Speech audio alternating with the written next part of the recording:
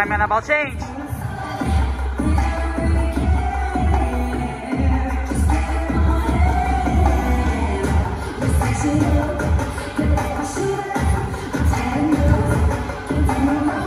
Stretch those feet. Step up, toe ball, heel. Stretch those arms on your fan. Make sure you grab that hair.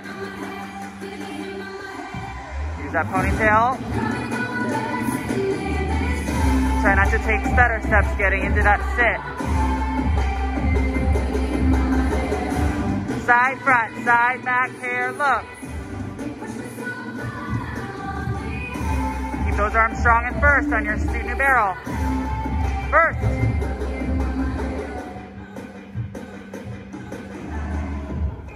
Stay together to make sure you do the right amount of fouettés.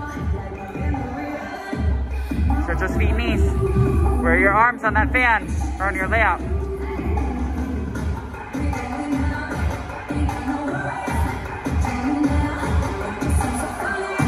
Push!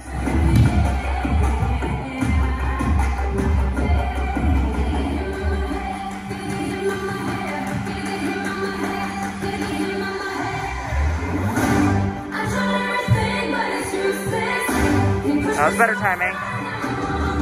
Use your hair here. Make sure you do that hair whip, Braylon. There we go.